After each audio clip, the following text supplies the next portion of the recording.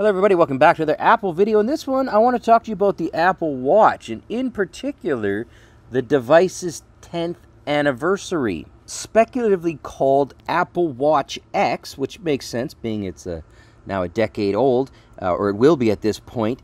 Apple is apparently working on a thinner casing for the Apple Watch X, as well as different ways for bands to attach to the device. As you know, you know, the Apple Watches kind of look the same for the last, well, since the beginning. And if they can find a way to connect the bands to the Apple Watch's casing and maybe make some more room for a battery, you know, a little bit bigger battery, tough stuff like that, yeah, it might go over well.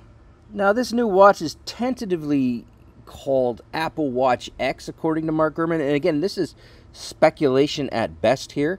But what they're looking to do is they're trying to make it a little bit thinner. They want the casing to be a little thinner and they want to have the ability to attach different bands sort of over the life cycle so you don't have to you know you get an apple watch 4 and an apple watch 8 and they're just not compatible the other thing is the existing band system it takes up a lot of space and they think that they can maybe you know get some bigger batteries in there or other different internal components including a potential blood pressure monitor so just something to keep in mind this is all speculation at this time but this is apparently what apple appears to be working on also note that the introduction of micro LED display technology, it's going to potentially coincide with the release of the Apple Watch X. Right now they're using the older OLED screens and yeah, you know what?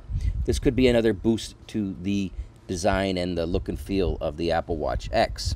And this is all, you know, of course, with a grain of salt. Take this all with a grain of salt. But the Apple Watch Series 9, which is due to be released, I guess, within the next month, maybe, well, it's only a minor refresh, and to be fair, a lot of the recent releases have been minor refreshes. So yeah, there's that going on. So the hopefully they've got the Apple Watch X there is going to be a big deal. But again, who knows? Um, the new 9 is going to have a little bit faster components, you know, maybe another couple of different looks, but it's kind of just a little bit more of the same. So anyways, that's the rumor mill at the moment. If you heard anything else or if you've heard anything different, leave a comment, let me know what you think, and I'll be back soon with some more content. Thanks for watching.